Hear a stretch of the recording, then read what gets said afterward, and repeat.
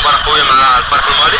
حيث أنا كما الشيء الفريق المالي العم العم معنا بالنسبة للناس وفرق حنا عرفنا يعني في مقابلة آه، الإياب عرفنا بأنه فريق كيمتلك مقومات كبيرة وعنده لاعبين آه، صغار ويعني وكيلعبوا الكره يعني ماشي فريق اللي متطفل وعنده تاريخ ديالو تا هو.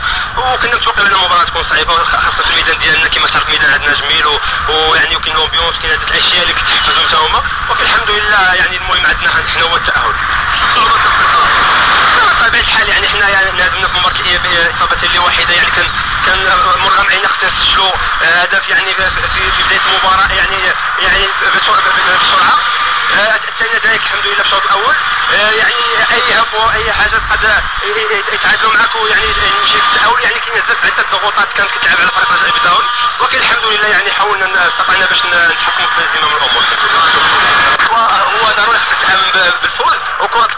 اللي يعني كتعرف كل شيء آه، جميع التوقعات يعني ما يمكنش تدخل المباراة وكتقول أنا غادي نفوز 100% هذه مستحيل. آه، غير هو كتقوم بجميع المسائل اللي كت اللي كتديك النتيجة إيجابية والحمد لله حنا يعني حنا جرينا المباراة بأحسن آه، ما يرام والفريق كما شفنا يعني فريق قوي ماشي سهل.